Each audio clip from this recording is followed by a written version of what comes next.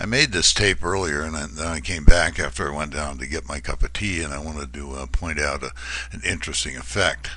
The um, blue line here is, and I'll expand it again, is a trend line, line break system.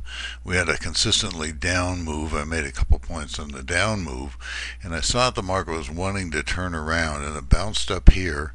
So I drew a trend line there, and I let it go for a couple more bars. I was using a shorter time frame as well, but basically looking at this, and as soon as we got to that trend line, I went in long with my target being the moving average.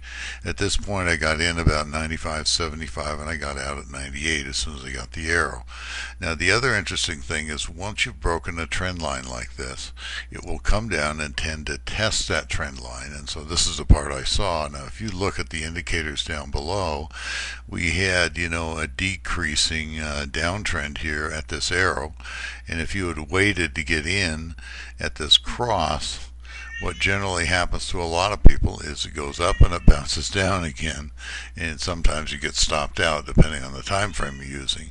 But I got in when we got back to the trend line right here now this retracement back to the trend line, probably I should have gotten back in long here on this report. We were right at a report that was pretty indeterminate. I mentioned those in my uh, previous uh, email last night.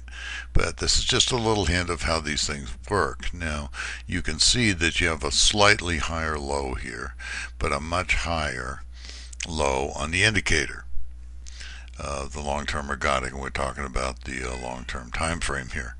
So just a little hint, this system works really well. I have a trader in Chicago, Mike Gorrill, who's made a ton of money off of this just very, very simple technique of trendline breaks.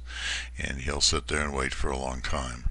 But this has worked very well for him. He used to be known as Gorilla Trader, and uh, I've had uh, videos of him uh, doing this in the past. So Here's a little hint. Uh, I am out of the market for the day. I made a nice couple of uh, points on this rebound, and I made a nice couple of points down here.